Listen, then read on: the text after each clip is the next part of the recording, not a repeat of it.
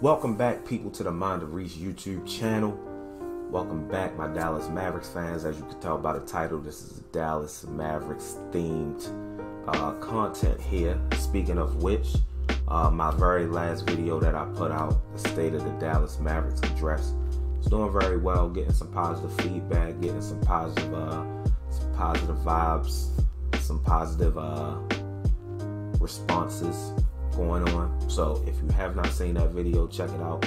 Link will be in the description. I'm gonna try to put a link in the video somewhere. I'm still new to this. Bear with me. If you don't see it, just click the link in the goddamn description. But anyway, uh, speaking of the Dallas Mavericks, the reason why we're here today, uh, recently some news has come out that the Dallas Mavericks are interested in uh, trading for Lauri Markkanen on the Chicago Bulls, who is no longer happy with uh, being with the organization. Cool. Uh, long ago, I was against having Lauri Markkanen and Porzingis on the same team, but considering how poorly Dallas has done in free agency in the offseason so far as a whole, I'm thinking, hey, get Lauri Markkanen. Maybe he can come off the bench, you know, or maybe KP can do a very good job at center this season. We could play Lauri Markkanen at the starting four. Who knows? Terribly defensively, but at this point, long as you can uh, score the ball, who cares? He's like a, a, a great value Kristaps Porzingis, and I don't mean that in a disrespectful way. I'm just saying that game was similar, but the peak we've seen Porzingis at, we haven't seen from Markkanen yet. Not saying he can't be there. Uh, granted, I don't think he can be there defensively, but we have not seen that from Markkanen yet. Uh, he had he's a very good shooter. He's been shooting well, better than Kristaps recently, I guess, even in his bad season, uh, quote unquote, last season. But a lot of Mavs fans have this issue with, oh no, we're not, we don't need to get Lauri Markkanen because of who we would have to trade to get Lauri Markkanen. Well, who we have to trade to get Lauri Markkanen? Uh, Dorian Finney-Smith, Maxi Kleber, uh, Dwight Powell. Also, you don't you don't want to trade those guys for Lauri Markkanen? No, they're key pieces to the team. They can't be touched. Not for Lauri Markkanen. Let me explain why that's a terrible way to go about things and we'll never improve that way. First things first, Lauri Markkanen has a higher ceiling than all three of those players combined. Second thing, Lauri Markkanen has always had a higher ceiling than all three of those players combined. Third thing, Lauri Markkanen is better than all three of those players. I'm going to tell you why Dorian Finney Smith, Dwight Powell, Maxi Kleber. These guys are expendable. And I don't mean this by any disrespect because I like I like all three of these guys. And I love Dorian. Dorian played very well for us in the playoffs last year when most people weren't stepping up. But the role that we have for Dorian, for Maxi, for Dwight Powell can be filled by a lot of players. And guys who may actually do the role better. Never know. But I'm not saying I want these guys gone. I'm saying if these guys could go to get us a better player who not only A can contribute like a Lauri Markkanen, starting caliber player in the league. If he doesn't pan out well, you trade him somewhere else. Honestly. Because he's young and he's still gonna have a pretty high ceiling and some sort of value because of his age. If he just comes in and plays regular, we still will be able to trade him somewhere, regardless of his contract. We've seen that no contract in the NBA is untradeable. So let me tell you why each of these players are expendable, and they it all kind of falls under the same category for these guys. I'm gonna break it down. Dorian Finney-Smith. Dorian Finney-Smith uh, took most of the the assignment of defending the opposing team's best player. Depending on size, sometimes it will be Maxi. But Dorian Finney-Smith took on that uh, that role. Dorian Finney-Smith is a good defender. Dorian Finney-Smith's not a top defender in the league. He should not be given that role because then sometimes it'll make him look bad. The role that Dorian Finney-Smith is given doesn't benefit Dorian Finney-Smith. Dorian Finney-Smith is a very decent three-point shooter. I would not consider him a reliable, consistent three-point shooter.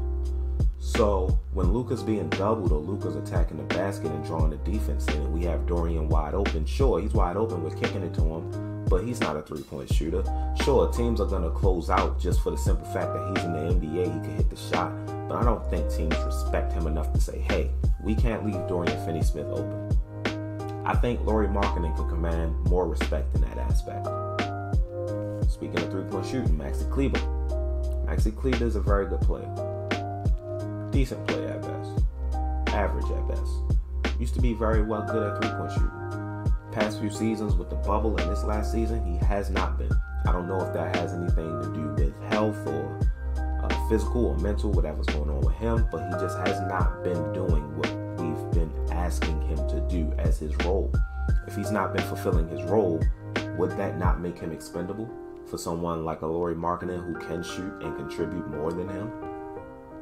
Maxi Kleber, yes, Maxi Kleber can defend a lot of the bigger guards. I mean, bigger forwards, uh, guys like Kawhi, but he's not really doing anything against them. He's just giving them maybe a hard time. So would we even be losing anything by losing him in that aspect? Chicago Bulls can probably use a Maxi Kleber and a Dorian Finney-Smith much better than the Dallas Mavericks can.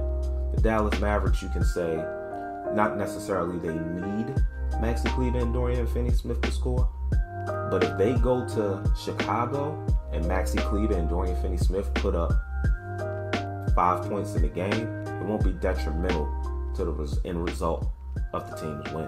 Where in Dallas, we need them to score, not be scorers but we need you to score when you're open. We need you to hit your shots. Chicago Bulls team is more rich with talent than the Dallas Mavericks team. Dorian Finney-Smith and Maxi will slide right in and fit whatever role is needed. Hey, Dorian, we need you to play some defense here and there, brother. We need you to play some small ball four here and there. Hey, if you hit a three every now and then, cool. That works. Like Jae Crowder on the Phoenix Suns. Obviously, Jae Crowder played a bigger role. Jae Crowder is better than Dorian Finney-Smith. But shout out to my boy Pierre Pee Wee the Plug, who used to say, "Hey, Jae Crowder hit, gives you three threes in a game. Most likely, the Phoenix Suns are gonna win. Dorian Finney-Smith can play that role for the Chicago Bulls. That'd be great. But if he's on the Dallas Mavericks, he's expected to hit at least three. It's not seen as a luxury; it's seen as a need. And if he doesn't, more than likely, it's going to be difficult for us to win the game. Same thing with Maxi Kleber at times. There's been times when Maxi Kleber was the starting power forward on the team. Maxi Kleber isn't hitting, i.e. the bubble, i.e. this year, this entire year. Maxi Kleber isn't hitting, it's a detriment to the team. If he isn't hitting on the Bulls, it's not a detriment. It's just less than what they could be getting. It's more of a luxury on the Bulls. It's a need on the Mavericks. Same with Dwight Powell. We need Dwight Powell to produce rebounds. Obviously, you're not expecting Dwight Powell to defend some of the centers in the NBA. That's unrealistic. But being a role man for Luka, Dwight Powell will probably be the third string center on the Chicago Bulls. And maybe they don't want a guy who's getting paid 10 million to be a third string center on their team. I understand that. But in order to make the deal work, I'm pretty sure Dwight Powell, Maxi Kleber, Dorian Finney-Smith, one of those, or maybe two of those three players, will need to be involved. And I'm okay with that at this point because I'm okay with improving. A lot of guys are expendable on this team. I'm not saying trade Jalen Brunson for Lauri Markkanen. It's not what I'm saying at all. I'm saying trade guys like Dorian Finney-Smith, Maxi Kleber, Dwight Powell. Guys who on this team, their roles are too big for their skill set. And that's not a form of disrespect at all. I just think they will fit better on a team that doesn't require as much of them because that's not what they should be asked to do because it's not the best way to execute the role that they're given. That's all I'm saying. Is Dorian Finney Smith and Maxi Kleber good NBA players? Dwight Powell as well? Sure, I like them. But I'm not going to cry if they're gone. I'm not going to be upset if they're gone. I'm not going to say they're ruining the team if they're traded, depending on who they're traded for. And in my opinion, Lauri Markkanen the right player for the deal, the right player for the job. If it doesn't work out, we should try to improve.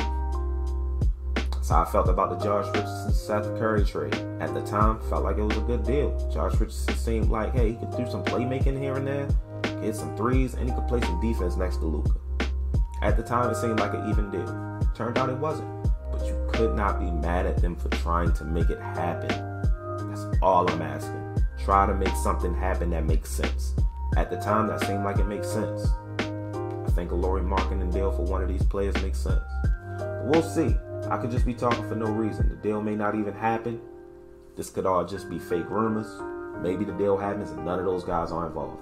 We'll see. But till then, keep it locked here because you know if that deal happens, I will be making a video on it. I'm probably going to come back and reference this based on who's in the deal. So if you like the video, leave a like on the video. If you didn't like the video, leave a like on the video. Make sure you hit the subscribe button. Let me know in the comment section how you feel about these three players. Do you think they're expendable? Do you think dealing them for Lauri Markkanen would be a good deal? Do you agree with me? Do you not? There's no wrong answer. Just get some conversation going. And I'll holler at y'all in the next one.